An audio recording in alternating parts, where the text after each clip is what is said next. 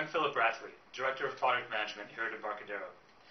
I'd like to talk to you about some of the things that we're seeing in the industry and some of the things that you can do to get more out of your software in tight economic times. These days, everyone's trying to cut costs, but at the same time, we're being asked to do all the same things we've already done, if not more. So if you look at development, it still involves design, architecture, testing, coding, debugging, performance tuning, deployment.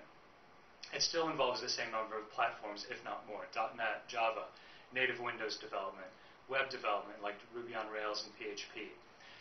And finally, every IT system needs to deal with business data. And if you're not dealing with Oracle, you're dealing with SQL Server or Sybase or DB2 or MySQL or any variety of other database platforms. As time goes on, the number of options doesn't go down, it goes up. So how does a project team get their job done? Chances are today they're using a variety of commercial tools combined with some home, homegrown scripting, maybe some open source or free software, and uh, probably qu quite a bit of uh, quite a bit of manual work. And chances are you've fallen into this not because it's the best solution. In fact, you may have tried to get specialized tools to do things like database change management or performance tuning. But let's face it, those tools can be very expensive. And by the time you've gone through a procurement cycle, the, the need might have passed on by.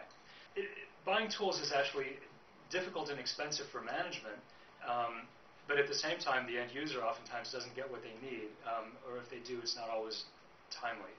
What we're doing for this um, to, to help the industry and to help our customers is to we've come out with a tool chest model. It's called All Access. And the way it works is we essentially take all of our tools, which support all the platforms I mentioned earlier and more, make them available as a tool chest so that when you need a particular product, you can pull it out, use it, and this provides a number of advantages. First, it simplifies license management, so you have a single asset that uh, can be used by a variety of different roles at different points in the life cycle and with different technologies. Makes it much simpler than having to deal with a whole variety of different tools and licenses and activations. We have a variety of licensing methods, including centralized management on a company's server that puts licensing entirely in your hands, where you can do reports and compliance all in one place.